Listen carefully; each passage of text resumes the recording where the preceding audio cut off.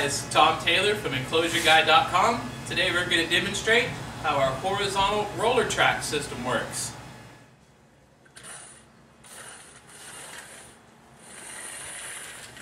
And our standard tie-down system is across the bottom with the D-rings across the floor.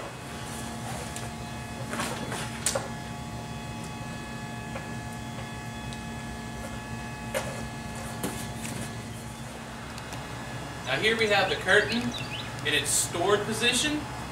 We're using the Velcro straps.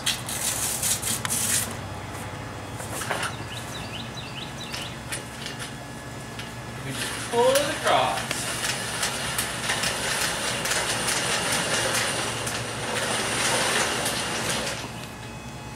Now here's our little doorway. So now I'll unstore the doorway, pull the doorway out.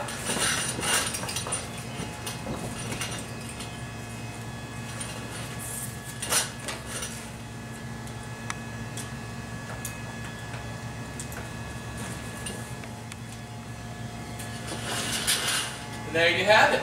That's how easy it is to deploy the horizontal roller track system. Okay, now we're going to demonstrate how easy it is to store the system in its retracted position.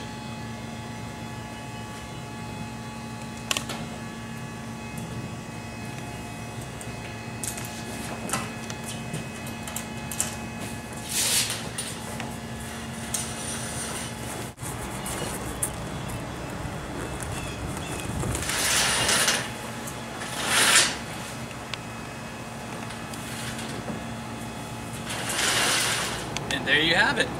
That's how easy it is to put them away. Remember, EnclosureGuy.com. We cover your assets.